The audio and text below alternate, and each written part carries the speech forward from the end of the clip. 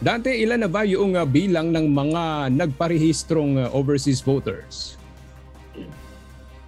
Magandang tanghali aga sa update na ibinigay sa atin ni Office for Overseas Voting o COMELEC OFOB Director Attorney Sonia Bea Lusada. Nasa 1.493 million na aga ang registered overseas voters at umaasa nga ang COMELEC na madag madadagdagan pa ito hanggang matapos ang deadline ngayong araw.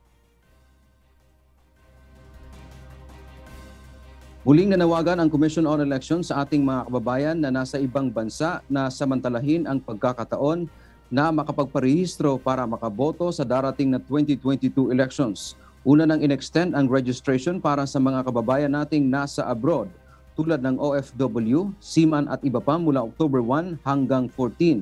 Ayon sa COMELEC, bukas ang registration sa lahat ng konsulada at imbahada ng Pilipinas sa iba't ibang bansa pero aga pinapayuhan ang mga nais magparehistro na i-check muna ang oras ng operasyon ng bawat tanggapan bago pumunta doon.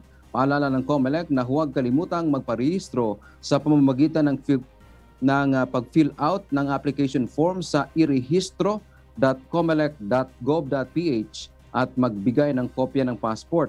Mayroon ding uh, consent form na kailangang i-fill out na nagbibigay pahintulot sa COMELEC na magamit ang personal data ng uh, registrant para ma-verify ang kanilang identity.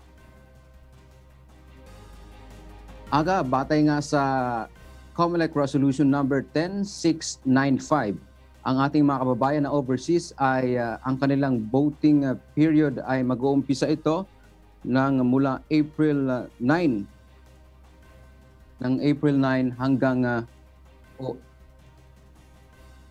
April 19 hanggang uh, May 9, 2022.